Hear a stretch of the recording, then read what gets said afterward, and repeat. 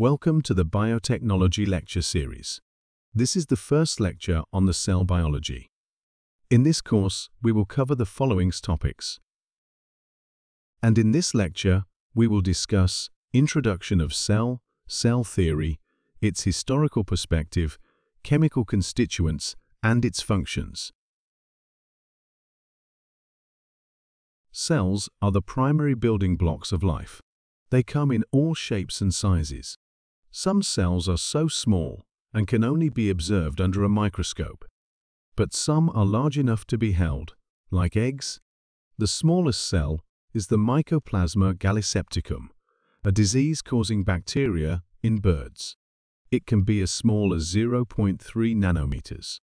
And the largest cell is the ostrich's egg, which can reach up to 6 inches in diameter.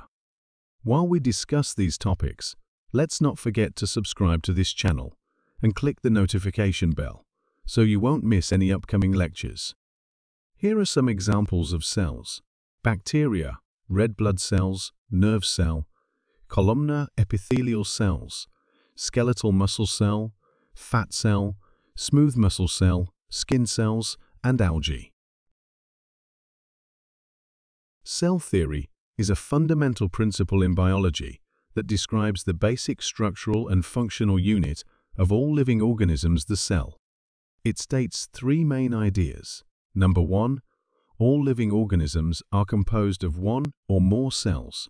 Number two, the cell is the basic unit of structure, function, and organization in organisms. And number three, cells arise from pre-existing cells through cellular division. The inception of cell theory can be traced back to significant contributions made by several pioneering scientists. In 1665, Robert Hooke became the first person to observe cells under a microscope using a thin slice of cork. He termed the structures he observed as cells, thus initiating the foundational concept of cell theory.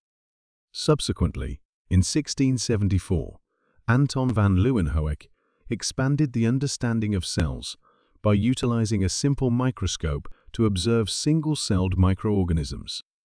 Building upon these observations, in 1838, Matthias Schleiden proposed that all plants are comprised of cells. This was followed by Theodor Schwann's 1839 proposition, which extended the idea to animals, suggesting that all animals are also composed of cells. Finally, in 1855, Rudolf Virchow completed the cell theory by proposing that cells only originate from pre-existing cells.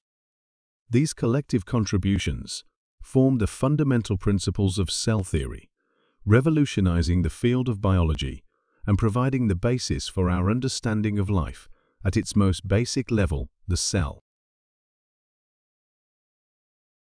There are several chemical constituents of the cell, like water, carbohydrates, nucleic acids, lipids, proteins, vitamins, minerals, ions, and organelles.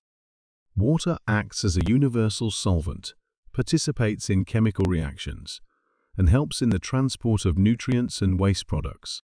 And carbohydrates provide energy for cellular activities, structural support, and cellular recognition.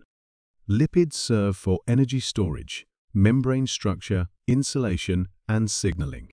On the other hand, proteins function as enzymes, structural support, molecule transport, immune responses, and cellular signaling. Nucleic acids store and transmit genetic information and facilitate protein synthesis. On the other hand, vitamins and minerals are essential for various cellular processes, acting as cofactors and catalysts in reactions. Ions regulate cellular activities, maintain osmotic balance, and participate in signaling. And organelles are specialized structures within cells with distinct functions, like mitochondria for energy production, the nucleus for genetic control, and the endoplasmic reticulum for protein synthesis. Cell theory is crucial for understanding the basic structural and functional unit of life, allowing for biological research and advancements. It laid the foundation for modern biology and other scientific disciplines, influencing fields like genetics, microbiology, medicine, and biotechnology. Understanding cell theory is essential in the study of diseases, development of drugs, genetic engineering, and various medical and scientific innovations. That's all from this lecture. See you in the next video for lecture number 2.